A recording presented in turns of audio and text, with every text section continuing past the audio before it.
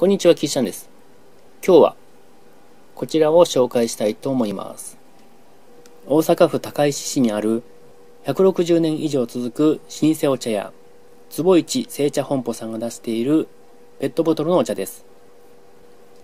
商品名は本格抹茶ドリンク利休一期一会です。品名清涼飲料水抹茶原材料名ボトルドウォーター抹茶国産。無香料無着色無保存料となっています。外観を見て少しこれまでのペットボトル飲料とは違うというのはわかると思いますが上から中を覗くと透明の水が入っています。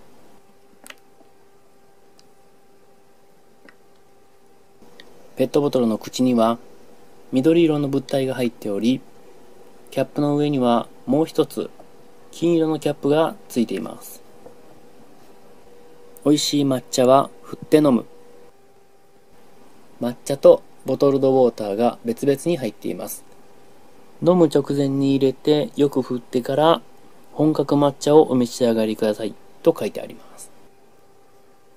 僕も初めて見たので紹介を兼ねて飲んでいきたいと思います。まず、金色のキャップを矢印方向、時計回しに止まるまで回し、抹茶をボトル内に落とします。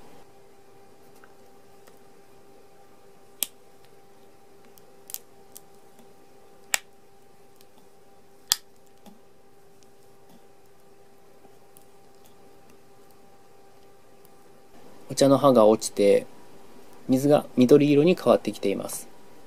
そしてキャップの上を2回ほど叩くと抹茶が落ちます。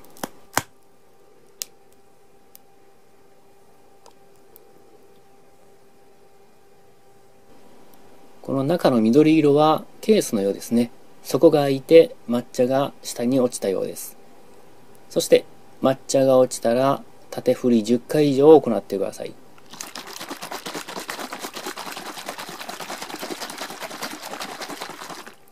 はい余分に振りました。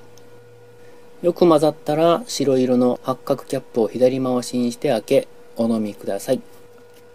それでは開けてみたいと思います。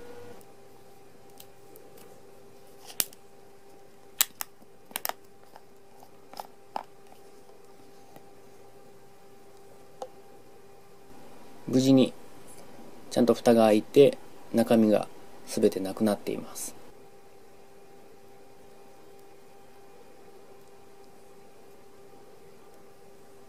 キャップを開け、コップに注いでいるだけで、とてもいい香りがしています。